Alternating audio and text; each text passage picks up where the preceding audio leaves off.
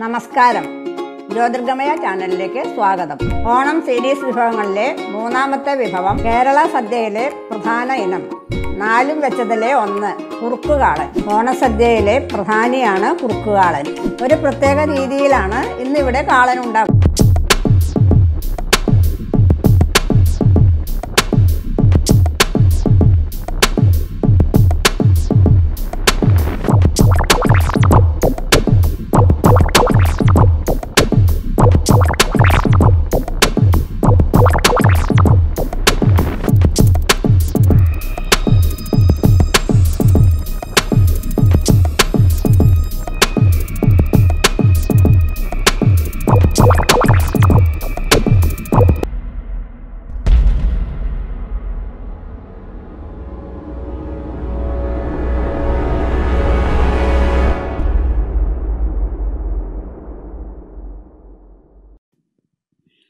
സദ്യയ്ക്ക് ഒഴിച്ചുകറിയായും കൂട്ടുകറിയായും വിളമ്പുന്ന ഒരു വിഭവമാണ് കാളൻ. നമ്മൾ ഇന്ന് ഇവിടെ ഉണ്ടാക്കുന്നത് കുറുക്ക് കാളനാണ്. ഇതിനു വേണ്ട സാധനങ്ങൾ തേങ്ങ ഒരു മുറി ചിരകിയത് സാമാന്യം വലിപ്പമുള്ള പച്ചമുളക് ആറെണ്ണം ഒരു ലിറ്റർ മോര് നല്ല കട്ടിയുള്ള മോര് വേണം കാളൻ ഉണ്ടാക്കാൻ ഉപയോഗിക്കേണ്ടത്. കുരുമുളക് പൊടി ഒരു ടേബിൾ സ്പൂൺ ജീരകം ഒരു ടീസ്പൂൺ ഉലുവപ്പൊടി ഒരു ടീസ്പൂൺ ചേന ഇരുന്നൂറ് ഗ്രാം വരുന്ന ഒരു കഷ്ണമാണ് ഇന്ന് ഇവിടെ എടുത്തിട്ടുള്ളത്. കായ ഒരെണ്ണം ഏകദേശം ഇരുന്നൂറ്റമ്പത് ഗ്രാം വരുന്നത്.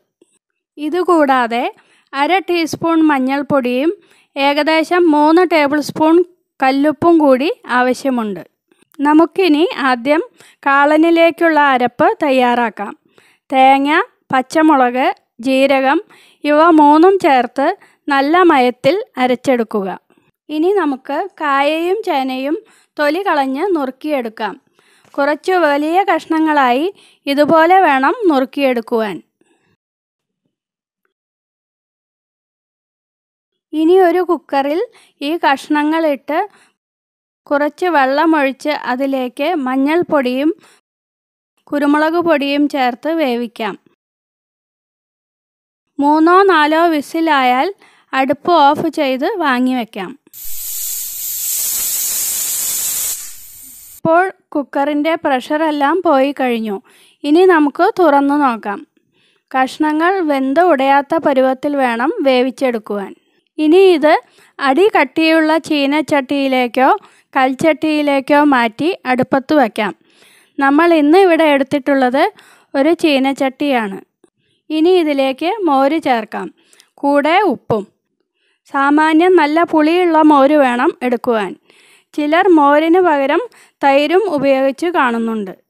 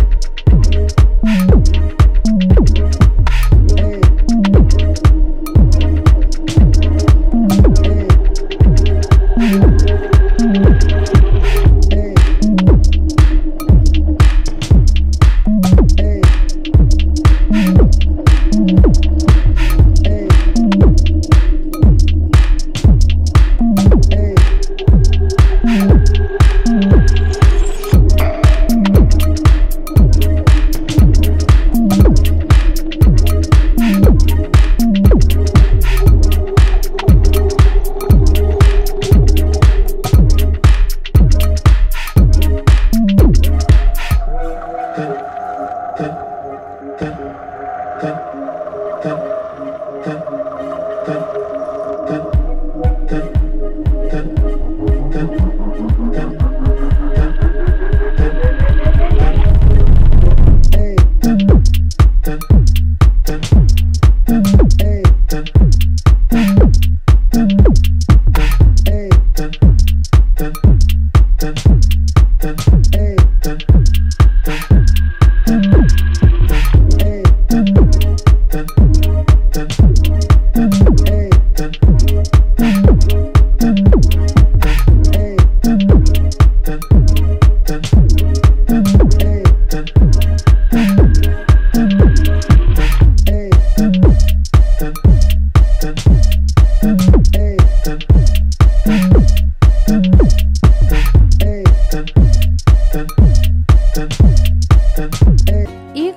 പോലെ കാളനിൽ മൂടിക്കിടന്നാൽ അതിന്റെ രുചി കൂടും.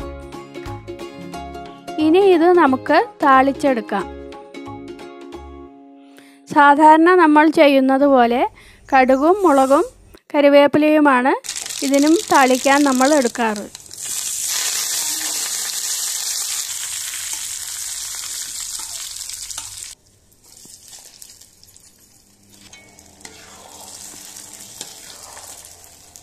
ഇതാ ഇപ്പോഴിവിടെ ഓണത്തിനുള്ള സ്വാദിഷ്ടമായ സദ്യ സ്റ്റൈൽ കുറുക്കുകാളൻ നമ്മളിവിടെ തയ്യാറാക്കി കഴിഞ്ഞു. കുറുക്കുകാളൻ സദ്യയിൽ ഒരു ഒഴിച്ചുകറി അല്ലെങ്കിൽ കൂടി ഒഴിച്ചുകൂടാനാവാത്ത ഒരു വിഭവം തന്നെയാണ്. കുറുക്കുകാളൻ നല്ലവണ്ണം വെള്ളം വറ്റിച്ചെടുക്കുന്നതിനാൽ കുറച്ചുനാൾ കേടുവരാതെ ഇരിക്കും. സദ്യയ്ക്ക് കുറുക്കുകാളൻ തലേ ദിവസം തന്നെ ഉണ്ടാക്കി വയ്ക്കാറുണ്ട്. അങ്ങനെ തയ്യാറാക്കി കഴിഞ്ഞാൽ അതിന്റെ രുചി കൂടുമെന്നാണ് പഴമക്കാർ പറയുന്നത്. അപ്പോൾ കുറുക്കുകളൻ ഉണ്ടാക്കുന്നത് എങ്ങനെയാണെന്ന് കണ്ടുവല്ലോ. തീർച്ചയായും ഈ രീതിയിൽ ഈ ഓണത്തിന് കുറുക്കുകാളൻ നിങ്ങൾ ഉണ്ടാക്കി നോക്കണം. നിങ്ങളുടെ അഭിപ്രായങ്ങൾ കമന്റുകളായി രേഖപ്പെടുത്തുക. ഈ വീഡിയോ ഇഷ്ടമായാൽ ലൈക്ക് ചെയ്യുക മറ്റുള്ളവർക്ക് കാണാൻ വേണ്ടി ഷെയർ ചെയ്യുക. മറ്റൊരു ഓണവിഭവവുമായി അടുത്തു തന്നെ കാണാം.